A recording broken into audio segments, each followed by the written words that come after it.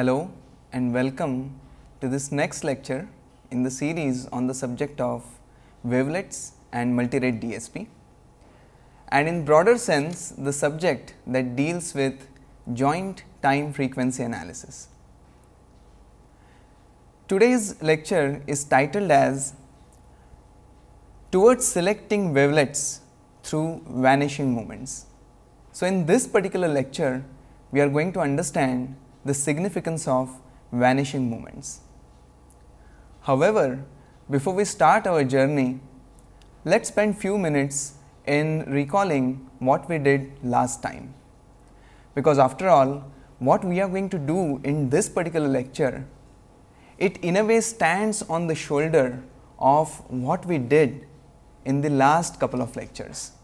So, let us quickly revisit what we did in last couple of lectures.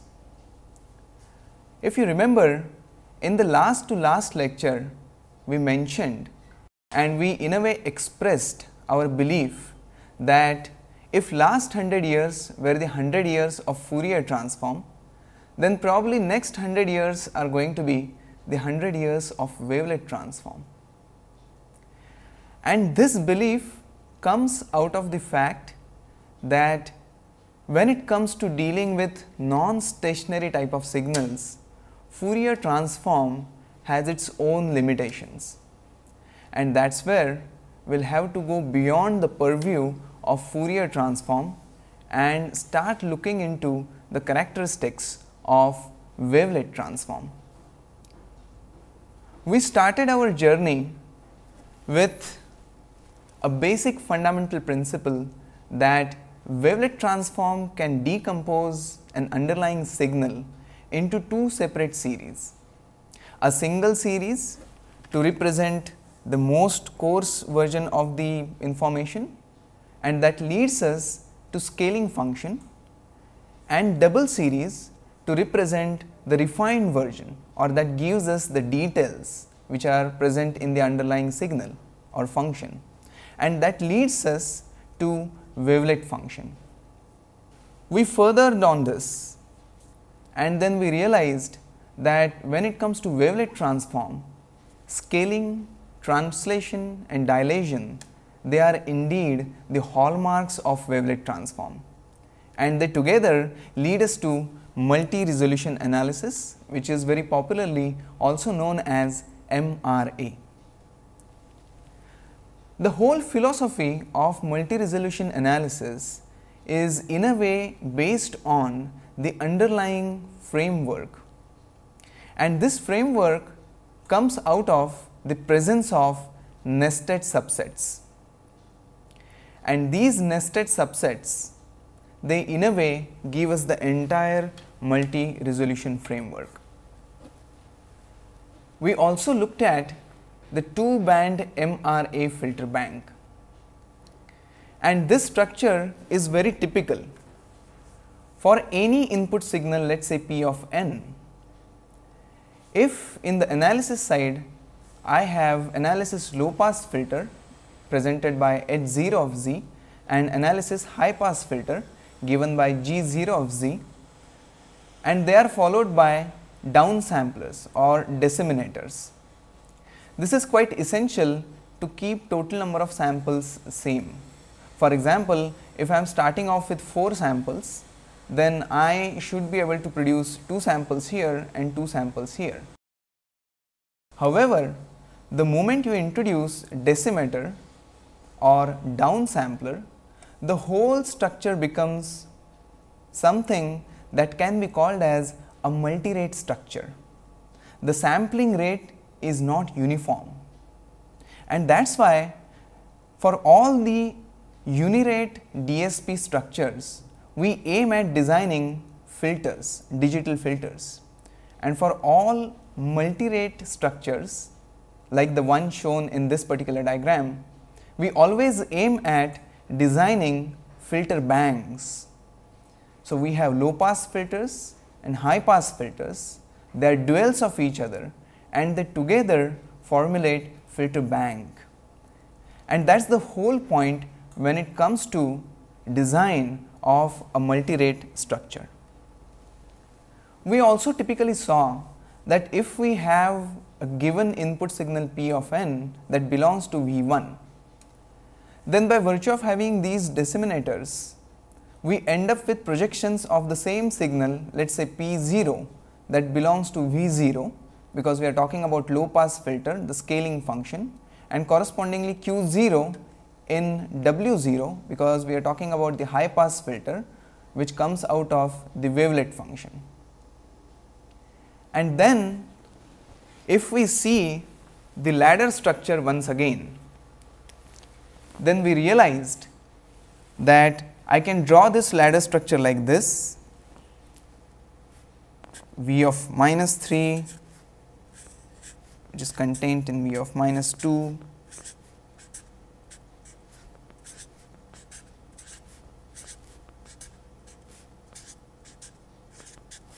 and this will continue. And if we are starting in V of 0, not necessarily we have to start in V of 0, this is just one example.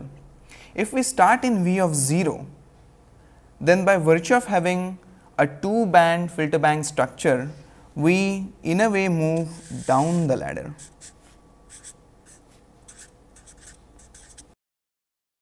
And typically it is easier to move down the ladder because if I have the information and if that information is projected in a subspace V of 0, then what I can do is I can throw away the information which is W 0 and what I will be left with is V of minus 1.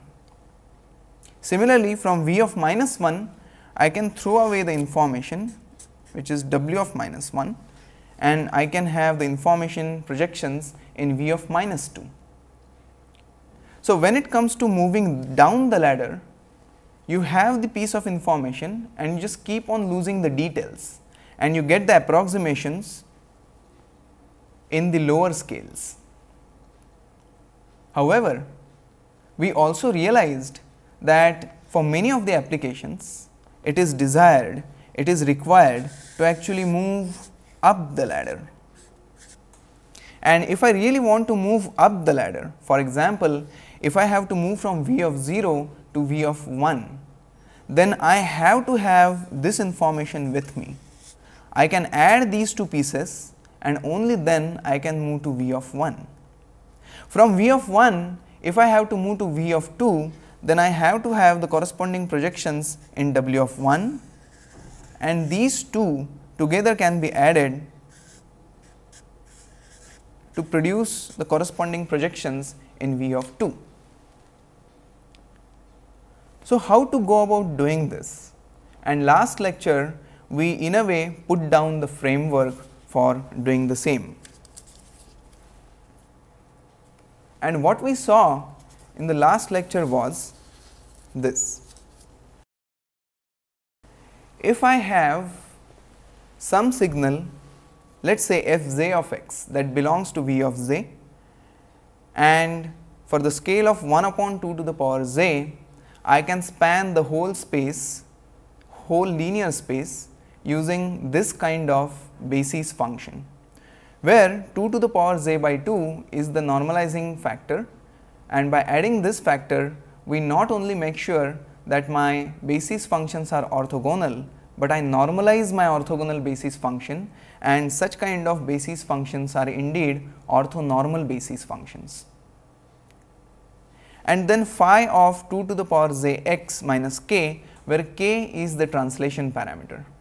So, this gives me normalization, this parameter over here will give me scaling and k is obviously meant for translation.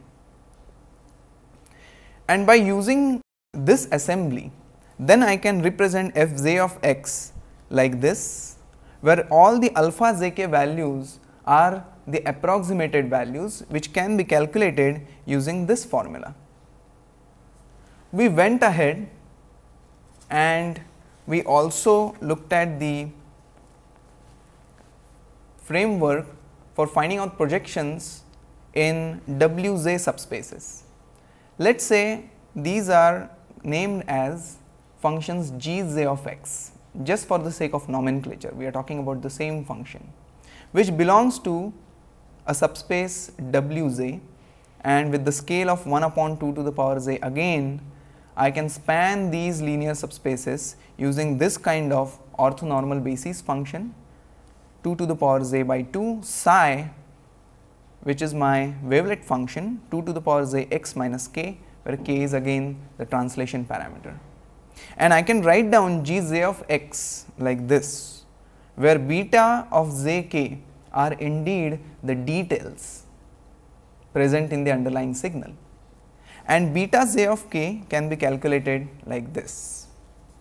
And then we wanted to really ensure that this assembly helps us move up the ladder. If I have projections in V0 and W0 and if I orthogonally add these projections, then I end up with projections in V of 1.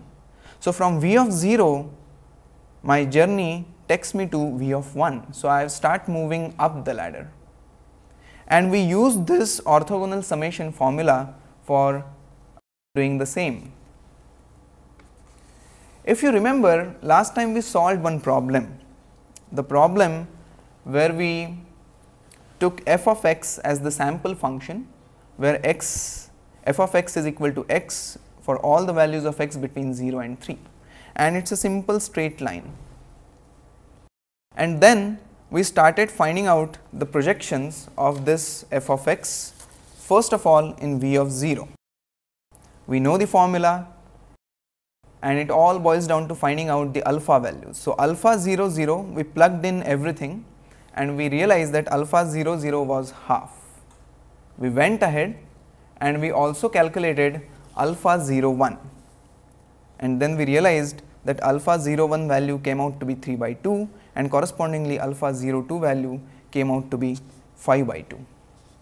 And as the name suggests these are indeed the approximations which are shown in green.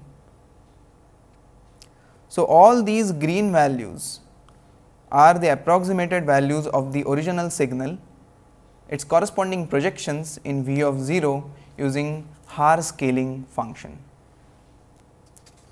We then went ahead and did the similar exercise for finding out the projections in W0 and then we realized that G0 of x which belongs to W0 is indeed summation over the details and the corresponding translated version of the basis function. So, the whole task was then to find out the beta values. And then we did that. We initially calculated beta 0 0 we went ahead and calculated beta 0 1 and also beta 0 2 and then we realized that all beta values were indeed minus 1 by 4 and if I have these beta values with me I can correspondingly find out g 0 of x. Then came the important task of moving from V0 to V1. We can go on adding up the alpha 0 and beta 0 k values to find out alpha 1 k values. We can also calculate alpha 1 k values using the normal formula and in the end we are able to tally all the different values of alpha 1 k we solved the problem of alpha 1 0 and we realized that we do not really have to worry about this, this particular factor of square root of 2 because when it comes to plugging in the value of alpha 1 0 in the formula for f 1 of x, it will be taken care of.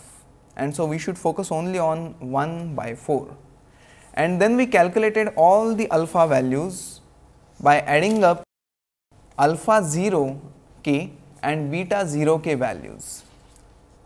So, we added up all the alpha 0 k and beta 0 k values. For example, in order to calculate alpha 1 0, we added up the first half of alpha 0 0 and the first half of beta 0 0 and that is how we are able to calculate the value of alpha 1 0 and then we continued for the rest of the values and that is how we are able to generate all these values of alpha 1 k. We plotted everything and then finally all the red points, all the red approximated values are indeed alpha 1 k values and they will help us find out the projections of f of x in v of 1. And we confirmed that indeed we are able to move from v 0 to v of 1. And visually, graphically, we can now verify that v of 1 gives us better approximation of the original signal when we compare it with the corresponding approximations given by V of 0. So, we are indeed able to add these details in W 0 and then moved on to V of 1 definitely a better approximation of the underlying signal. There is a reason as to why we revisited this entire example that we solved in the last lecture. What we are going to do in today's class is in a way based on this particular example that we solved. We are going to pose few interesting questions based on this particular example and then correspondingly try and solve these two questions and that will formulate the remainder of today's lecture. But before that, let us quickly go through a MATLAB simulation of the same problem that we just solved. This is a very simple MATLAB program. CLC is meant for clearing up the command prompt, clear all is going to clear all the variables and close all is going to close everything. Now, let us define our x axis and this could be our time axis for example and since my signal f of x exists between 0 and 3, x of 0 is 0 and x 1 is 3. The level is selected to be 9 and this level gives us the resolution step while moving from x 0 to x 1 and that will be clear when we see the next line written over here. So, we have written that x is equal to x of 0. So, it begins with x of 0 and then it increments in a step size and this step size is 1 upon 2 to the power level. So, the step size that we have selected is dependent on the value of level variable that we select. In this step size, it will start from x 0 and with this step size, it will go all the way till x 1 which is 3 minus one of the steps that is 1 upon 2 to the power level. And the underlying function is f of x is equal to x. And that is why we have written f is equal to x. And then we have saved this variable f in a mat file which is test underscore f dot mat. So, let me run this program. And after running this program we can very clearly see the mat file that is test underscore f dot mat that has been generated. Now, let us invoke the wavelet toolbox and let us look at the one dimensional analysis. Now, for this analysis let us provide the signal that we have generated as the input that is test underscore f dot mat. So, this is how our signal actually looks. And let us try and analyze this signal using a simple Haar wavelet and let us do the analysis till the third level. So, this is how the analysis actually looks. And now, let me be interested in the different modes that can help us understand what exactly goes into the system.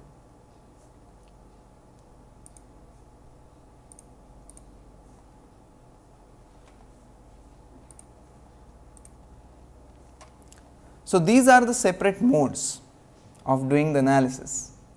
And as you can absolutely clearly see, as far as the approximation in A5 is concerned, it is quite crude and as we start moving towards A1 it gets better and better and better and we also know the reason. We add A5 into D5 to generate A4 for example and this would continue. Let me superimpose these modes to really understand it better and instead of using 5 let me use 10 scales and then try and superimpose everything on top of one another. And now this particular plot will really help us understand what kind of things we are actually doing. And let us start one step at a time. So, instead of selecting all, let me start with only the most crude level approximation. And now, let us start adding up the details by virtue of which we will start moving up the ladder. So, you can clearly see that approximation is better now and as you continue doing this you will get a better and better and better approximation and then right at the end you go tantalizingly close to your real signal. So, if we just place the last value that we have obtained then this is indeed very very close in, in terms of representation to the underlying function or the underlying signal.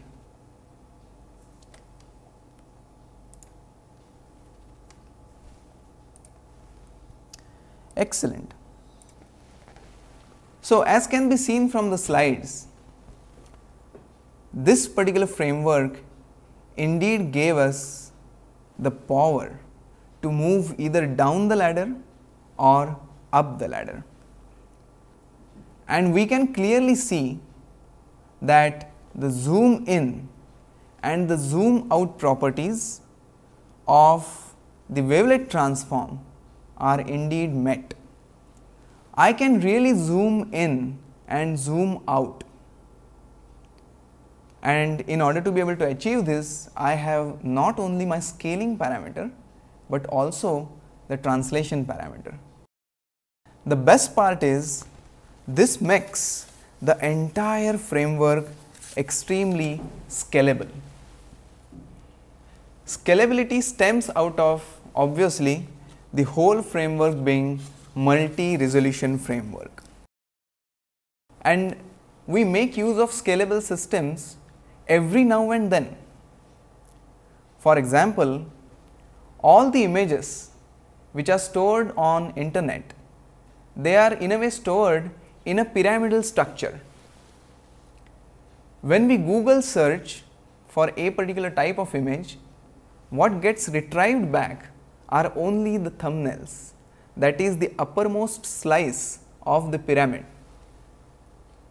And when you select or click on that particular thumbnail, then probably one of the slice from the underlying framework of the entire pyramid will get selected depending upon the resolution of the kind of hardware that you are using. Same holds true even for video analysis.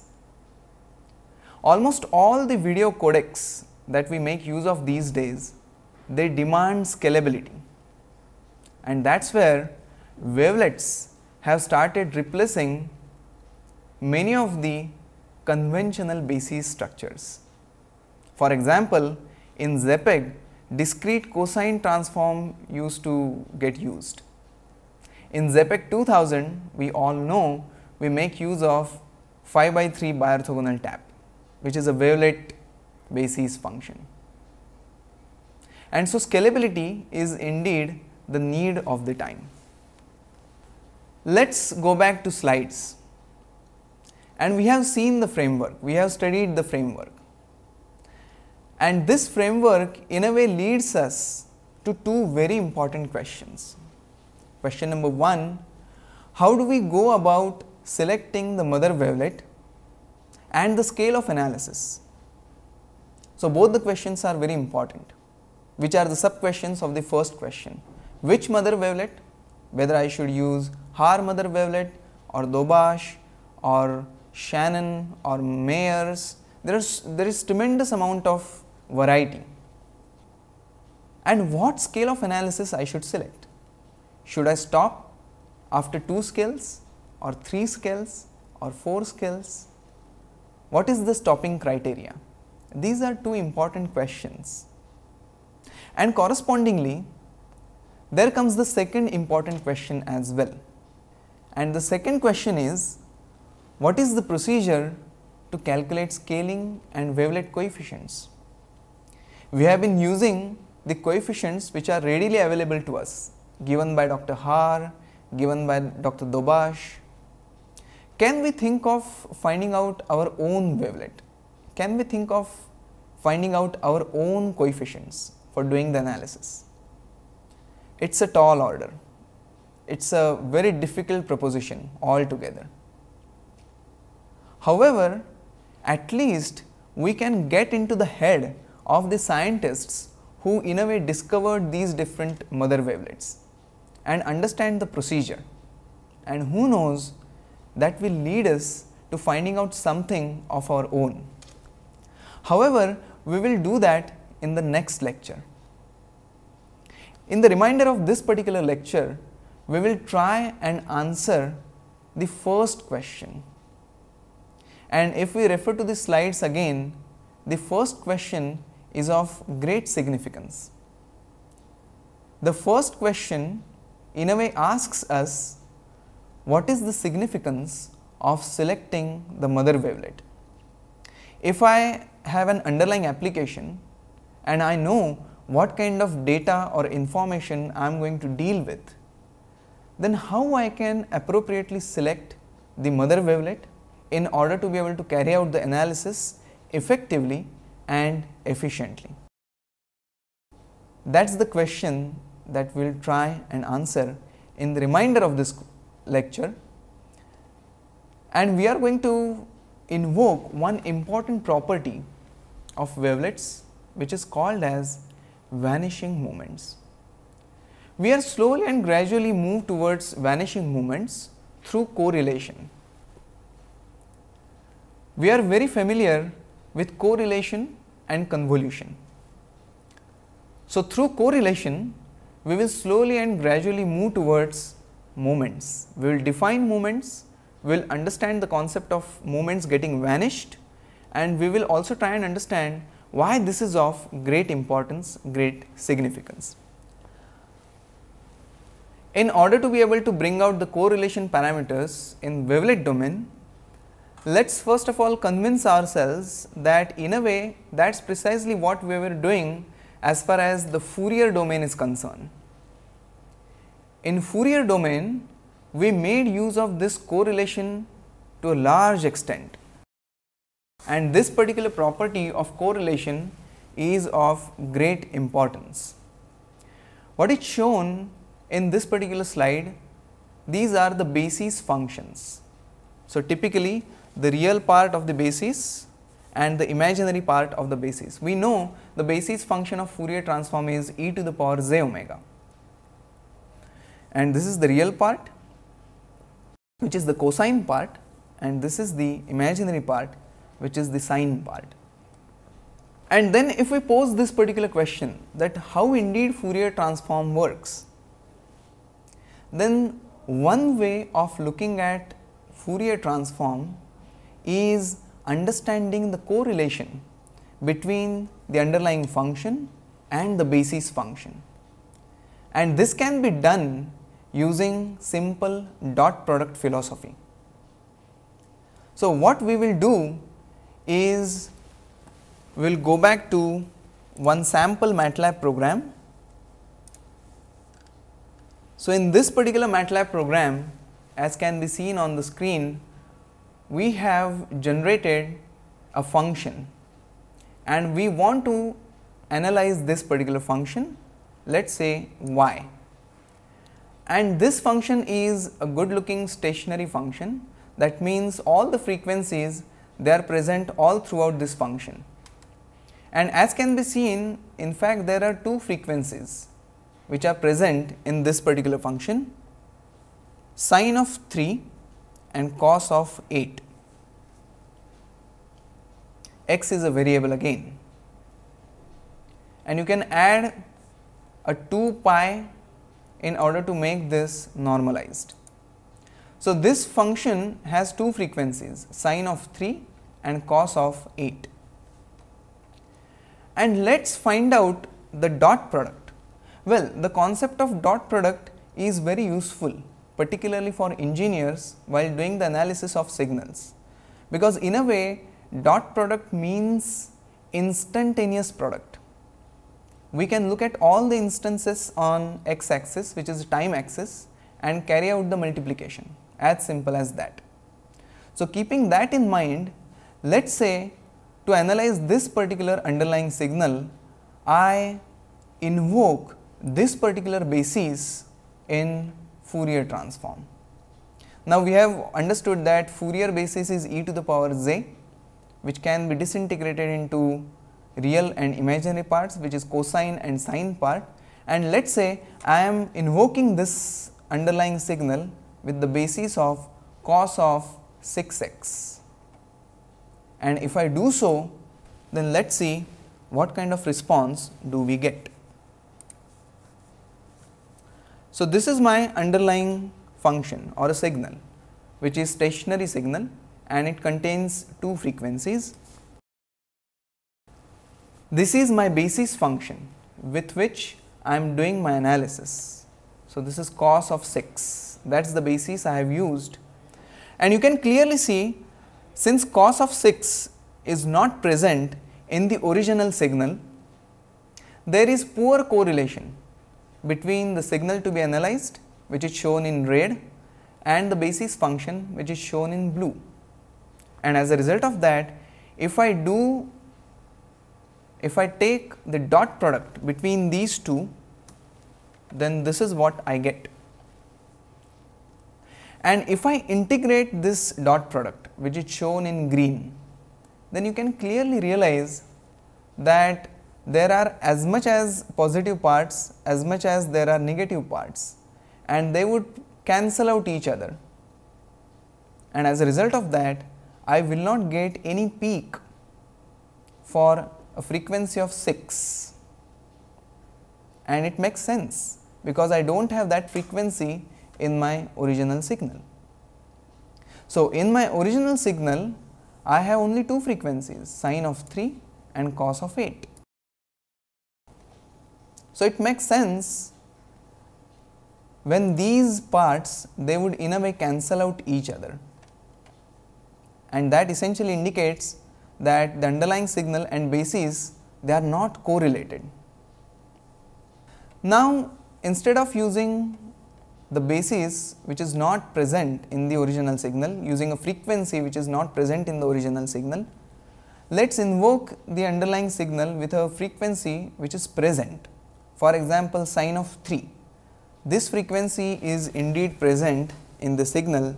So, let us try and invoke with sine of 3 and if I if I run this again then this is the original signal that we are trying to analyze. And this is now sine of 3 and you can clearly observe a good amount of correlation.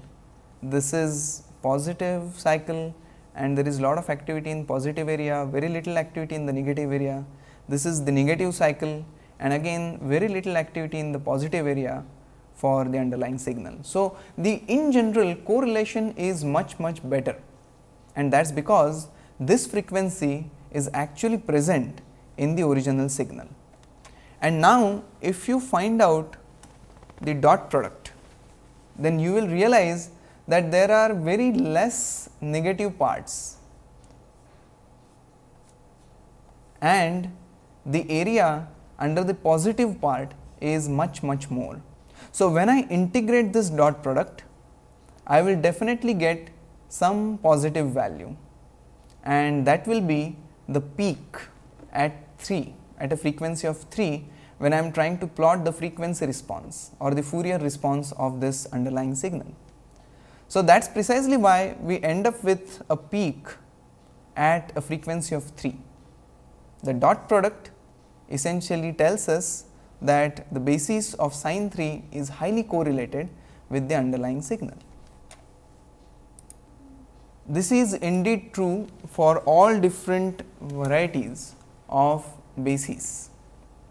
Let us go back to the slides and let us run through few of the examples quickly.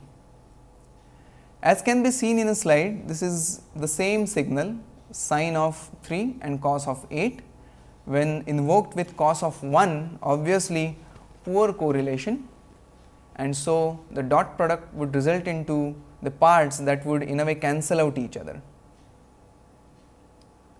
Same signal when invoked with sine of 1 again this frequency is not present in the original signal. So, poor correlation and the dot product parts would cancel out each other. So, no peak will be generated at a frequency of 1.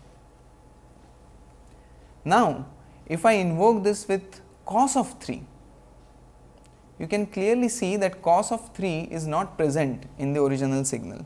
So, once again the dot product will have the parts that would cancel out each other. However, as we have seen in the MATLAB demonstration, if we invoke this with sine of 3 which is now present in the underlying signal, then definitely dot product will generate a peak at the frequency of 3. The same holds true for cos of 8 because cos of 8 is present in the original signal. And as a result of that you can clearly sense that correlation parameter is very high, correlation index is very high and if you take the dot product then that is going to give you a peak at a frequency of 8. So, this idea of correlation we have been using with Fourier transform for quite some time.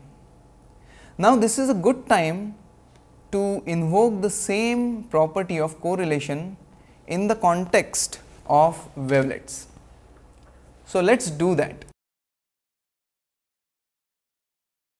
We know the formula for convolution very well. So, we will start with the convolution formula move towards correlation formula and then see what is the significance of moments when it comes to deciding the basis wavelet function for analyzing a particular type of underlying signal.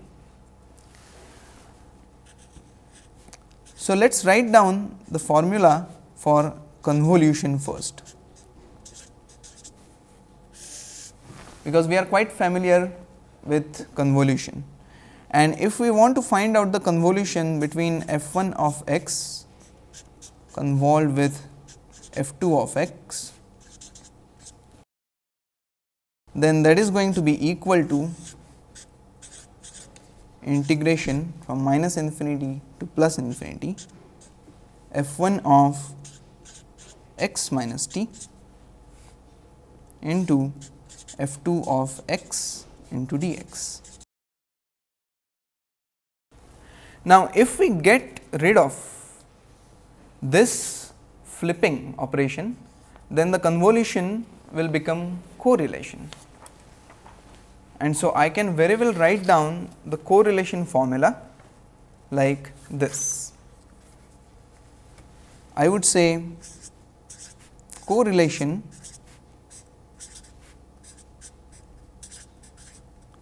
between two functions say f 1 and f 2 will be f 1 of x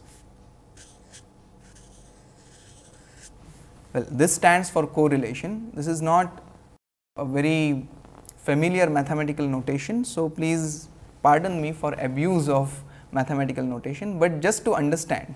So, this is correlation between f 1 of x and f 2 of x and that is equal to integration from minus infinity to plus infinity I would say f 1 of t minus x now into f 2 of x into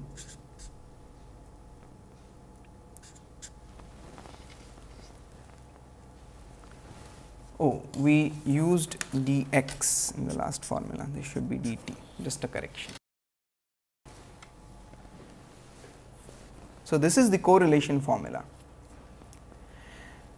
Now, see Since we are often interested in detecting sensitive activities in the signal such as spike or jump discontinuity in its higher order derivatives, we would like to know about what kind of wavelets will be able to see such activities. And indeed, it turns out that we can find wavelets that can detect or see linear or quadratic or higher polynomial structures. And that brings us to the subject on maximum order of vanishing moments. So, let us define what do we mean by moments first and then we will understand the significance of moments when it comes to selecting a particular type of mother wavelet. So, moments.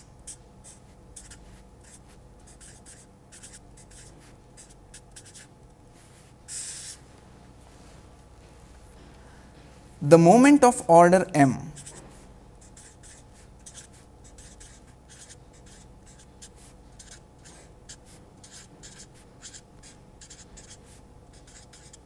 Say m of m. Of function f of x on interval a comma b can be given as m m to be equal to integration from a to b x to the power m f of x into dx. So, this is how I can go about defining the moments and this is of order m. So, I can find out zeroth moment by plugging in m small m is equal to 0. Correspondingly, I can go about finding out first moment and second moment and third moment and so on. Now, when these moments of higher order they vanish they in a way tell us something very very special about the underlying wavelet. So, what special information these moments convey we are going to understand in few minutes. But before that to understand whether the moments actually vanish or not, let us very quickly solve a simple problem with the Haar wavelet once again to really convince ourselves that the moments indeed vanish out. So, let us take a case of Haar which is also the first member in the Daubechies's family. So, Haar which is equal to Dob 1 psi of x.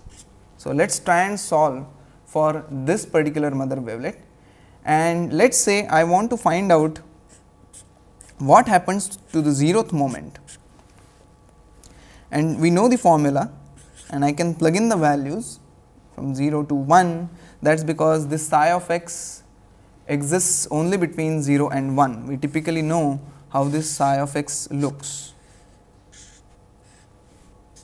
So, this is my psi of x which exists only between 0 and 1 and that is where integration limits are from 0 to 1 and then x to the power 0 psi of x into dx.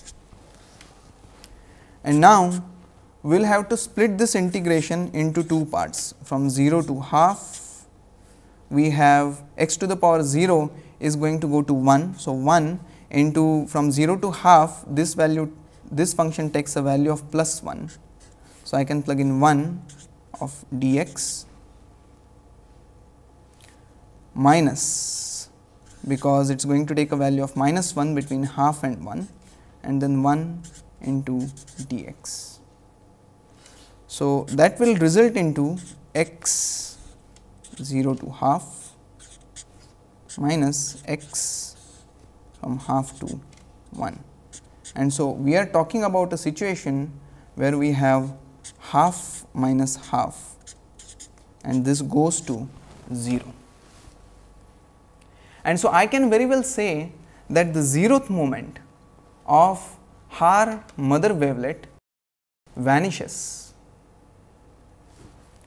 Whether this holds true for the first moment as far as Haar mother wavelet is concerned, let us try and find out.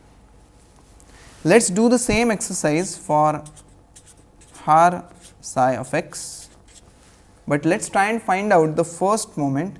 So, m of 1 is going to be equal to between 0 and 1 and then now I have x to the power 1 psi of x into dx.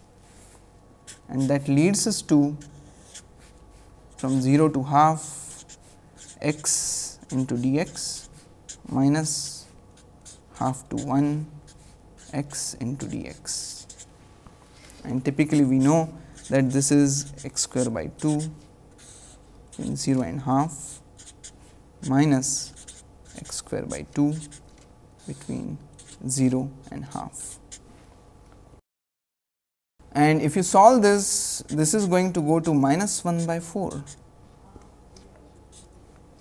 which is not equal to 0.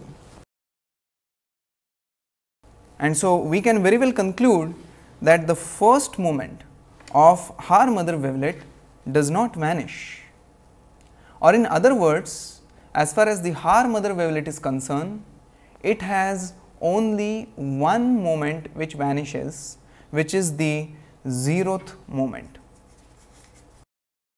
Interesting. Now, that will take us to one very interesting question and that is vanishing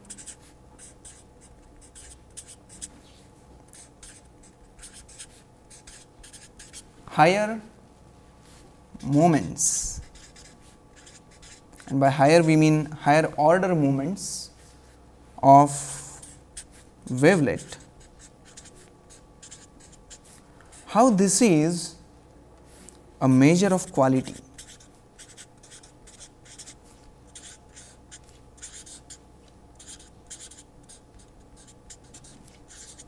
So, this is one interesting question that we are going to in a way pose.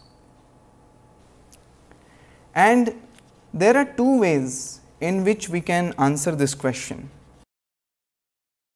And these two ways are I can I can probably say that as far as my vanishing moments are concerned, these vanishing moments they definitely number 1 gives me savings in computations.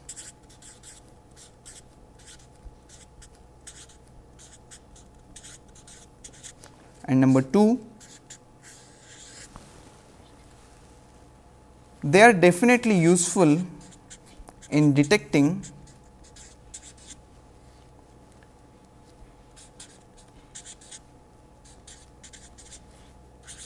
higher derivatives.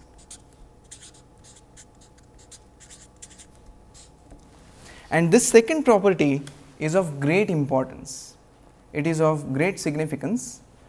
Now, why this is important? Well, we are going to revisit the problem that we solved last time. So, we will refer to the slides once again. We solved this particular problem last time if you remember and this is a very typical application which is required in many real life situations where we are trying to in a way find out the hidden discontinuity, the hidden jump in the underlying signal. And we took this particular function as an example where g of t is equal to t between 0 and half and t minus 1 between half and 1 and there was this clear jump at t is equal to 0.5. We did the integration of the original signal g of t. By virtue of doing this integration, we are able to generate signal h of t. And still in h of t, we realize that there is this cusp jump at time t is equal to 0.5. So, we integrated this h of t again in order to finally generate f of t.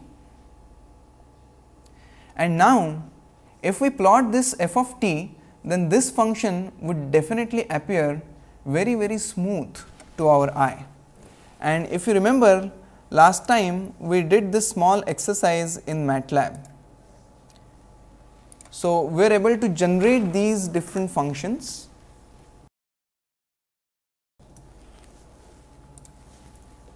and these different functions they look like this. So, in the original function the discontinuity is obvious. In the integrated version there is a cusp discontinuity and then by virtue of integrating twice we get a very smooth good looking function. And we also saved this function in a test underscore sig underscore f dot mat. And if you remember we did this small exercise last time that we invoked the Windows menu of Wavelet toolbox given by MathWorks and we tried to interpret this particular function. So, I am loading this particular signal that we have generated which is test underscore sig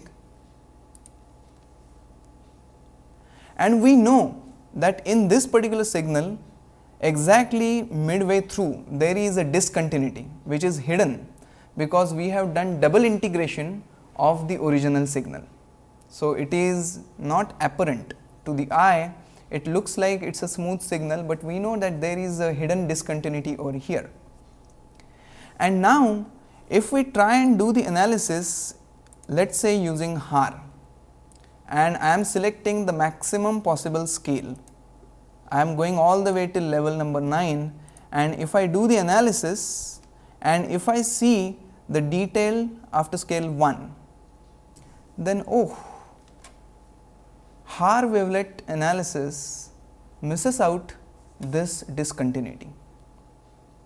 So, I cannot really detect this discontinuity using Haar. By the way, Haar is also known as Daubechies 1 so, Haar is the first member in the Daubechies family.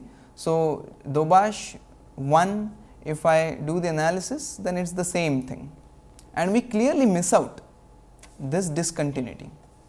As against that if we invoke Daubechies 2 and now if we try and analyze then you can clearly see that I can now very clearly find out the discontinuity over here. I can zoom on to this part to really understand it better and you can clearly see at 256 because we are doing a 2512 level analysis. So, exactly midway is 256 and at 256 this pattern goes abrupt and it tells us that there is a discontinuity at 256. So, Haar was not able to detect this, but Daubechies 2 was definitely able to detect this. And if you allow me to select Daubechies 3, the discontinuity will be more apparent.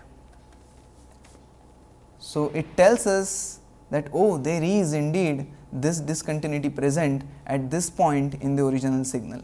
Correspondingly, we can go on selecting Daubechies 4 and the discontinuity will become more and more apparent. So, what we are trying to say is which mother function should be selected is one very interesting question and it depends on what kind of data we are trying to analyze.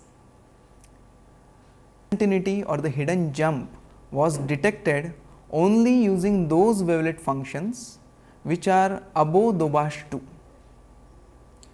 and there is a strong connection between number of vanishing moments associated with these different mother wavelets and their capability in doing the underlying task. We will stop here as far as this lecture is concerned and in the next lecture we will continue harping on the same lines.